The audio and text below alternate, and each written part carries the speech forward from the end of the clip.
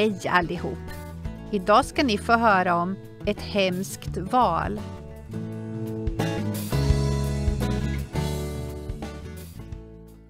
Kom ihåg-versen är från Lukas evangeliet kapitel 22 och vers 42.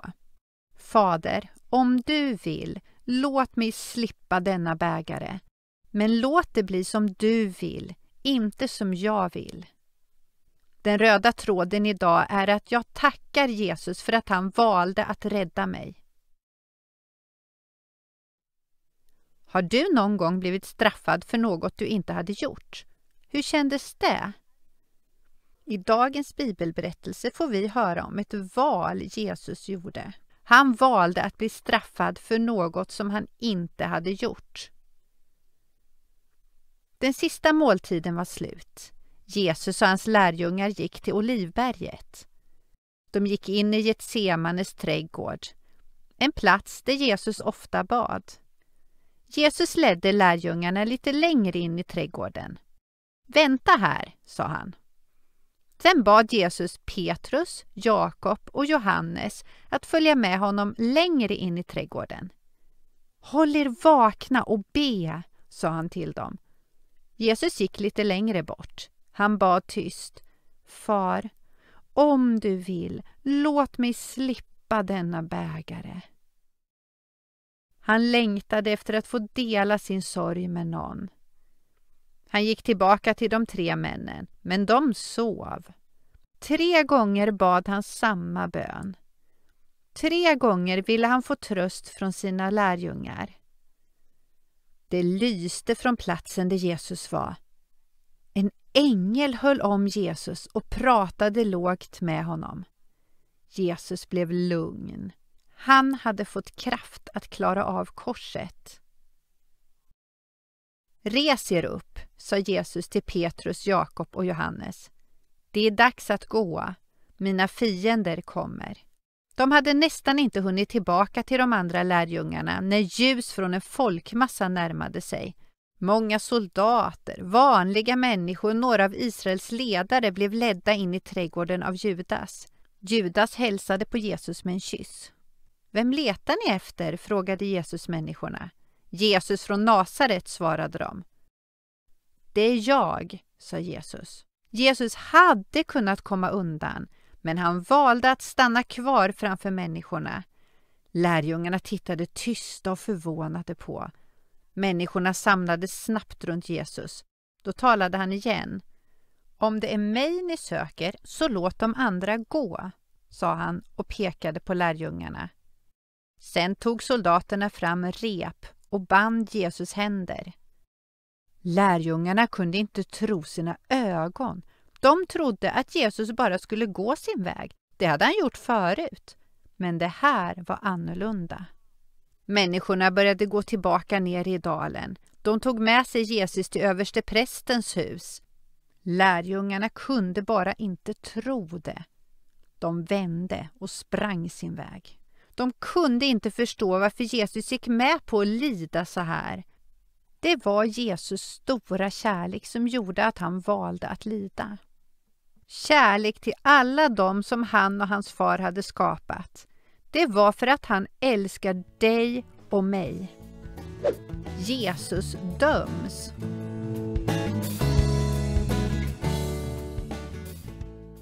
Kom ihåg-versen är från Jesaja kapitel 53 och vers 5. Han blev sårad för våra överträdelsers skull. Genom hans sår blev vi helade. Den röda tråden idag är att jag tackar Jesus för att han räddade mig. När Jesus togs till fånga i trädgården i Getsemane sprang alla lärjungarna sin väg. Alla människorna följde med soldaterna ner för kullen. De hade facklor i händerna för att lysa upp vägen. Johannes såg hur de gick över en liten bäck. Vad gör jag nu? undrade Johannes. Jag måste följa efter människorna för att se vad som händer med Jesus. Johannes och Petrus följde efter människorna mot Hannas hus och sen till översteprästen Kajafas palats.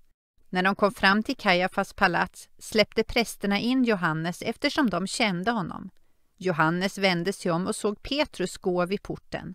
Petrus gömde sig i mörkret där ute. Han ville inte att någon skulle se honom där. Johannes gick tillbaka till kvinnan som vaktade porten. Var snäll och släpp in min vän, sa han, och det gjorde hon. Hon fortsatte titta på Petrus när han gick mot elden mitt på gårdsplanen. Till slut frågade hon honom, är inte du en av Jesus lärjungar? Va? Nej, sa Petrus och vände sig om för att värma sig.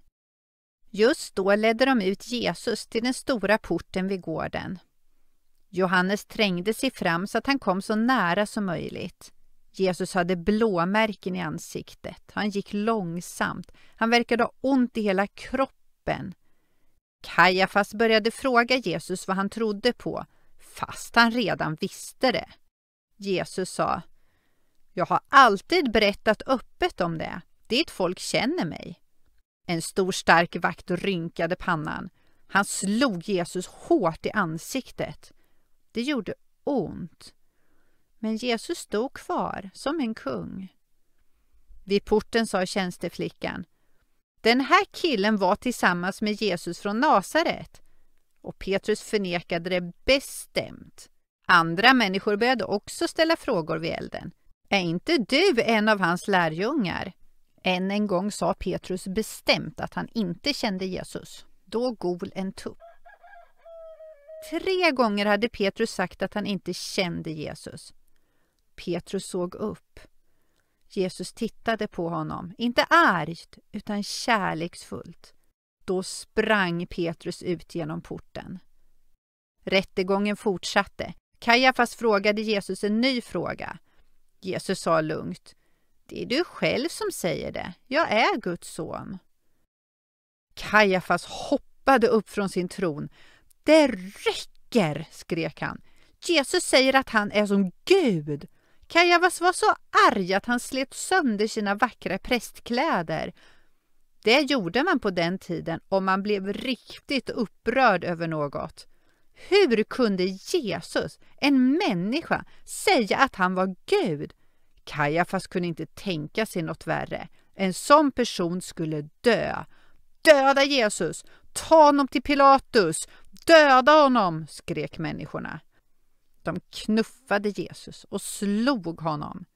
Soldaterna sprang fram och grep tag i Jesus. De ställde sig runt omkring honom och tog honom med sig till Pilatus palats. På bara några timmar kom Jesus först till Pilatus, sen till kung Herodes och sen tillbaka till Pilatus. Hela tiden slog människor Jesus och sa elaka saker om honom. Han fick lida så mycket men han valde att göra det för att du och jag skulle få veta hur mycket Gud älskar oss. För mig.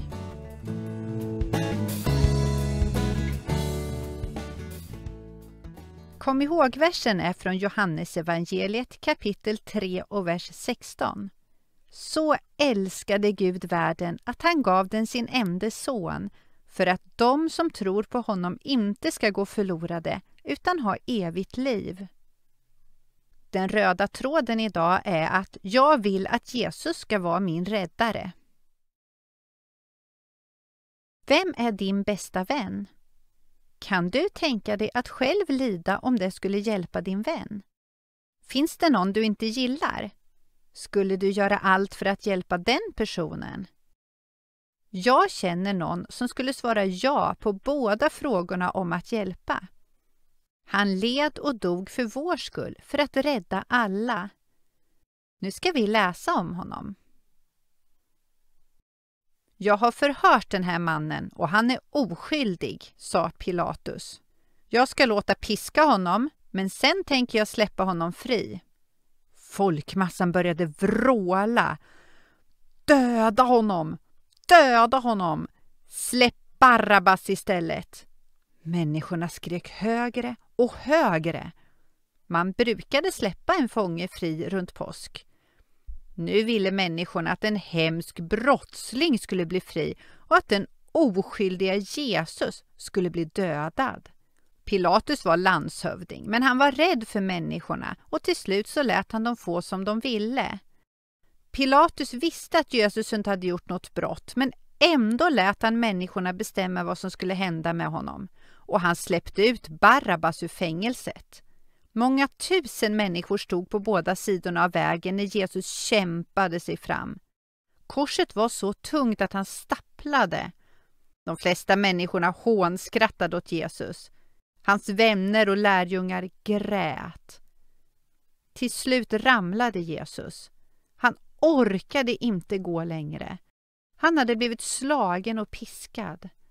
Soldaterna tog tag i en man i närheten som såg stark ut.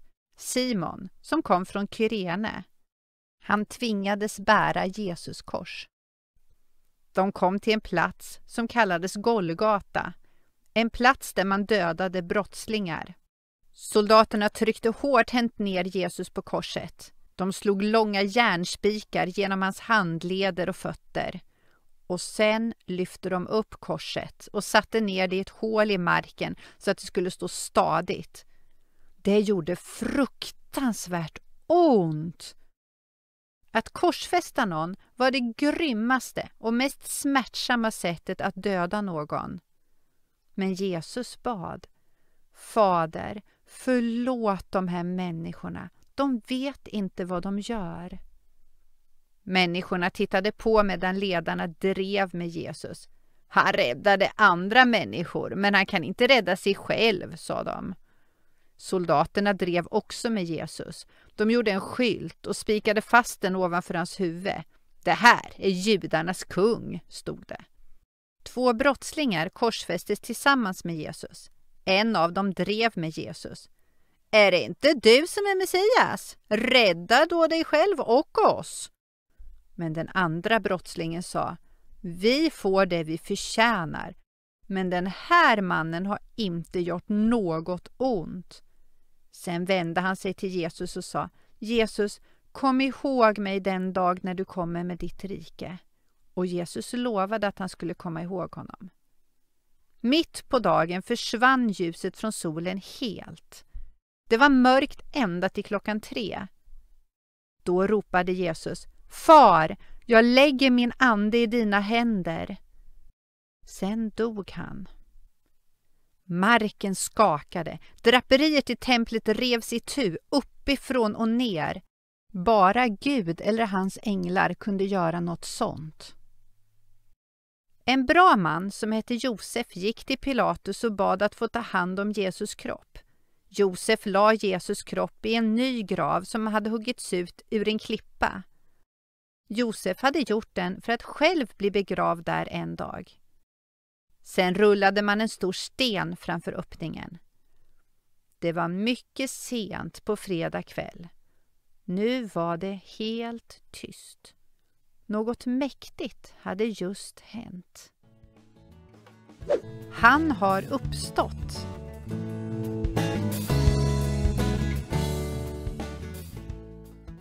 Kom ihåg-versen är från Lukas evangeliet kapitel 24 och vers 6. Han är inte här, han har uppstått. Den röda tråden idag är att jag kan välja en framtid tillsammans med Jesus, för han lever. Har du blivit besviken någon gång för att du hade förväntat dig något särskilt? Något du var säker på skulle hända, men som inte hände? Lärjungen hade hoppats på alla möjliga saker i Jesus rike. Men så dog Jesus. Vad skulle nu hända? Efter att ha lidit väldigt mycket dog Jesus på korset på fredag eftermiddag. Trots att Jesus var död var prästerna oroliga. Så Pilatus skickade soldater för att vakta Jesus grav. Tidigt på söndag morgon skakade marken plötsligt runt graven. En mäktig ängel, lysande som en blixt, var plötsligt där och rullade undan stenen. Ut ur graven kom Jesus. Soldaterna blev så rädda att de föll ner på marken. Kanske förstod de till sist att det var Guds son de hade korsfäst. Soldaterna rusade in i stan och berättade allt för översteprästen. De berättade om jordbävningen, om ängeln som rullade undan den jättelika stenen, Kanske berättade de att Jesus hade kommit ut ur graven, livslevande. Nu blev prästerna oroliga. Tänk om folk fick reda på att Jesus levde. Det fick inte hända. Kajafas funderade. Vänta! Vänta! ropade han när soldaterna började gå därifrån. Ni får inte berätta för någon vad ni har sett. Säg att hans lärjungar kom dit på natten och att de tog bort honom medan ni sov. Soldaterna blev skräckslagna. Om de sa att de hade sovit när de hade vakt kunde de bli dödade. Prästerna visste vad soldaterna tänkte, så de lovade snabbt att ge dem pengar. De skulle säga till Pilatus att han skulle skydda soldaterna. Strax efter att soldaterna hade sprungit iväg från graven kom Maria från Magdala dit. När hon såg att graven var tom skyndade hon sig iväg för att berätta för lärjungarna. Andra kvinnor kom också till graven den morgonen, men Jesus var inte där. Ängeln som hade rullat undan stenen talade mjukt till kvinnorna. Var inte rädda. Jesus är inte här. Han har uppstått, precis som han sa att han skulle. Gå nu genast och berätta det för hans vänner. Jesus kommer att möta er alla i Galileen. Kvinnorna skyndade sig iväg för att berätta det för lärjungarna. När Maria från Magdala berättade för lärjungarna att Jesus var borta skyndade sig Petrus och Johannes iväg till graven. Maria följde med.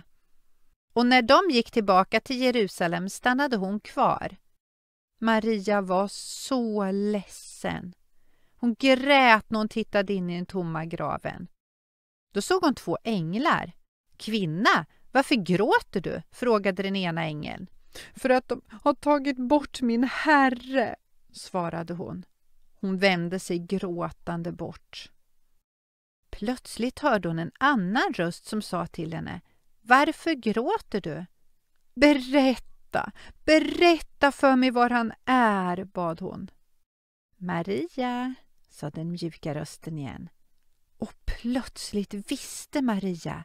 Det här var ingen främling, det var Jesus själv. Överlyckligt tittade hon på Jesus. Gå och tala om det för mina lärjungar, sa han. Och Maria gick till lärjungarna och berättade lyckligt. Jesus lever! Han har uppstått och jag har sett honom. Ja, Jesus lever. Han är vår räddare. Och just för att han lever så kan du och jag välja en lycklig framtid tillsammans med Jesus för alltid. Och den glädjen kan börja nu. Vi behöver bara säga att vi vill vara hans barn och låta honom vara vår räddare. In i molnen och tillbaka igen.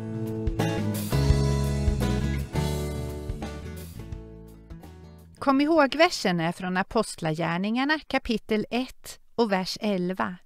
Denne Jesus ska komma tillbaka på samma sätt som ni såg honom fara upp på. Den röda tråden idag är att jag vill vara tillsammans med Jesus när han kommer tillbaka för att hämta mig. Har du varit på en flygplats någon gång? Har du sett ett flygplan lyfta? Såg du hur det blev mindre och mindre tills det försvann? Det hände något liknande i dagens bibelberättelse. Efter att Jesus hade blivit korsfäst och uppstått igen var han tillsammans med sina lärjungar i 40 dagar. Under de dagarna uppmuntrade han dem och hjälpte dem att tro att han verkligen levde igen. Och han förberedde dem för deras arbete. Under Jesu sista dag på jorden gick han och lärjungarna till en favoritplats, Olivberget. Därifrån kunde de se ner på Jerusalem. Det vackra marmortemplet lyste i solen. Det var bara Jesus som visste att han snart skulle lämna jorden. Lärjungarna hade just frågat honom om han skulle störta kungen nu. Skulle han nu sätta sig på tronen? De förstod fortfarande inte. Jesus skulle inte bli kung på jorden. Han skulle bli kung i deras liv. Mjukt berättade Jesus för dem att den helige Anden skulle vara med dem. De skulle berätta om Jesus för hela världen. Alla måste få veta att Jesus dött och uppstått. När han hade sagt det började Jesus sakta stiga upp från jorden. Förbi trädtopparna, rakt upp mot himlen. Lärjungarna måste ha undrat vad som hände. Kanske stirrade de med öppen mun. Tyst försvann han in i molnen. De ansträngde sig för att se medan Jesus försvann ur sikte. Medan de stod där och stirrade upp i luften stod plötsligt två män i vita kläder bredvid dem. De här två änglarna hade stannat kvar för att hjälpa de överraskade lärjungarna att förstå vad som just hade hänt. Änglarna sa Varför står ni här och tittar upp mot himlen? Denne Jesus som har tagits upp från er till himlen ska komma tillbaka på samma sätt som ni såg honom fara upp på. Lärjungarna började genast berätta de goda nyheterna om Jesus i hela världen. Det var så de första kristna församlingarna startades. En ny religion vars tro bygger på tre saker. Nummer ett. Jesus, Guds son, lever. Nummer två. Jesus kom för att leva på jorden och dö för oss, för att visa att Gud älskar oss. Nummer tre. Jesus ska komma tillbaka till jorden för att hämta oss så att vi ska få leva tillsammans med honom. Lärjungarna saknade Jesus. De ville att han skulle komma tillbaka. Längtar du också efter att Jesus ska komma tillbaka? Vill du vara tillsammans med Jesus för alltid? Jesus längtar jättemycket efter dig.